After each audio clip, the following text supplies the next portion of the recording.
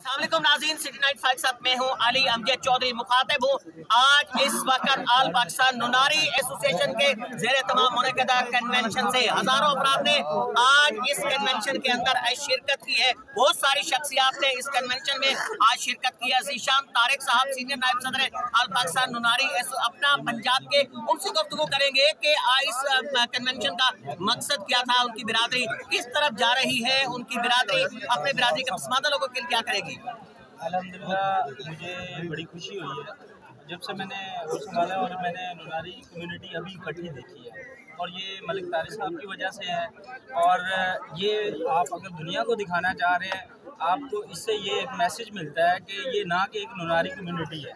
ये इवन के पाकिस्तान के पूरे मुस्लिम के लिए है कि पूरा पाकिस्तान एक साथ मिल के आगे चले और तरक्की करे इस दौर के अंदर के जहाँ अफरा तफरी फैली हुई है हाँ। जहाँ आपके लिए इतिहाद बहुत मुश्किल होता है नुरारी कम्युनिटी का ये इतिहाद गैर मामूली नहीं है नहीं अलहमदिल्ला हम बड़ा स्ट्रॉन्ग इसको करते जा रहे हैं और मज़ीद इनको बेहतर करना चाह रहे हैं और मज़ीद इवन के नुनारी कम्युनिटी के बाहर भी हम कोशिश कर रहे हैं कि वेलफेयर हम काम कर सकें, जो कि हम लोगों के काम आ सकें। और इसी तरह लोगों को जैसे जैसे अच्छा मैसेज मिलेगा वो लोग भी अच्छी सोच के साथ आगे जीशान तारक साहब का ये कहना था कि वो बाकी बिरादरियों के लिए भी एक पैगाम दे रहे हैं कि सब लोग अपनी बिरादरियों की फलाह बहबूद के लिए काम करें ताकि मजमू तौर पर माशरे के अंदर बेहतरी आ सके। हाफिज नजीर साहब मौजूद हैं पाकपतन से आए आल पाकिस्तान नुनारी एसोसिएशन के कन्वेंशन से। उनसे अस्सलाम हाफिज साहब।